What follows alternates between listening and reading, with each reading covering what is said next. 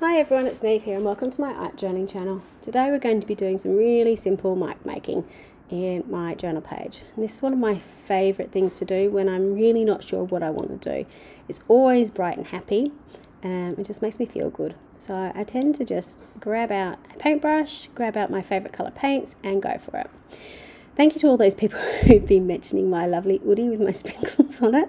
Um, uh, it's been a bit cold in my, my art room recently, so I'm not wearing my pajamas. It is over the top of my clothes, but uh, it keeps me very warm and toasty. So if you don't have one, I highly, highly suggest yeah, you get one. So I'm going in with lots of bright rainbow colours because they just make me happy. I'm using a little bit of paint. Um, this one of the things I find probably is um, a big difference when I see sort of people starting out with painting um, compared to people who've been painting for a little while. You really don't need that much paint, especially if you're using good quality paints. They go a long way. So a little bit, if you need more, put more out, but you really don't need much to get coverage on your page.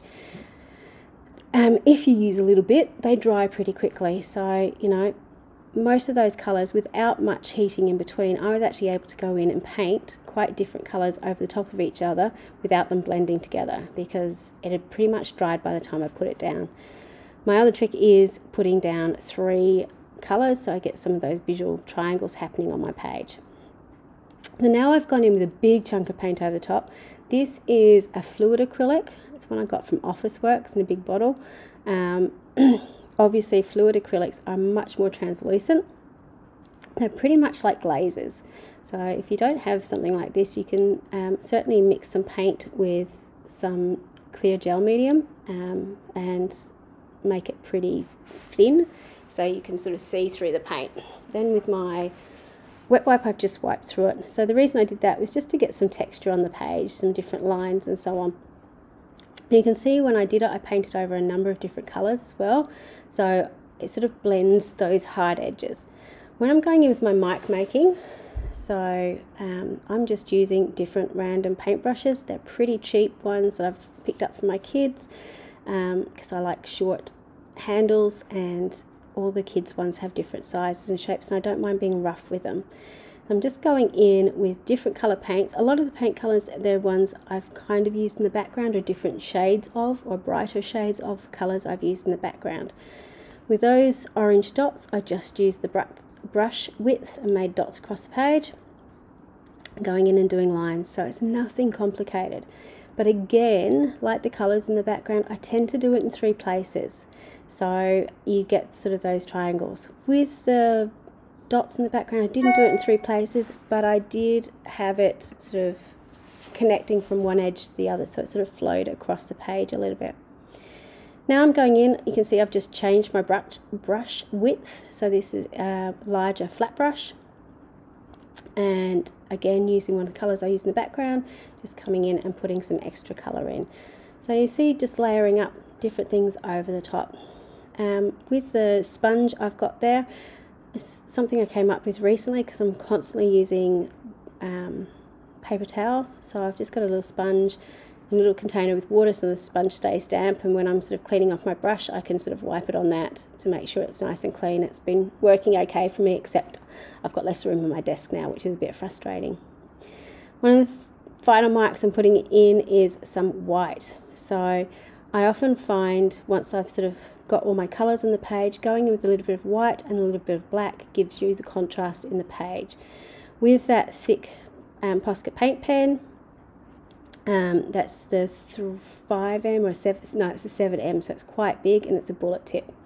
You also saw me take a picture of my page. So this is something I really recommend if you're doing pages like this with just the mark making, go in and take a photo of it um, because you can then go in and print it out and you've got lots of multiple copies that you could use for something else or you can cut up to use for backgrounds on cards or you can die cut shapes out of them. So if you create a background you really like, take a photo of it and then you can do all sorts of different things with it. Now obviously I'm happy to do that because that was basically paint in the background. It does change a little bit. Um, you need to check out rules if you're using stamped images and so on on it. But if you've just got paint and marks in the background, go for it.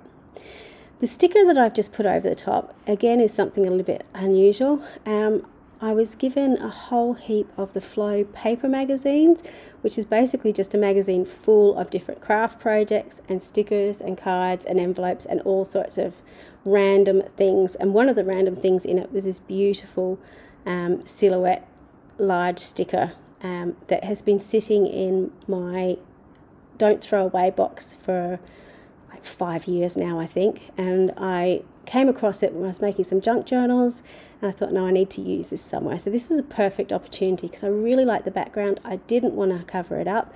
Having that beautiful black image over the top really um, helped to boost the colour.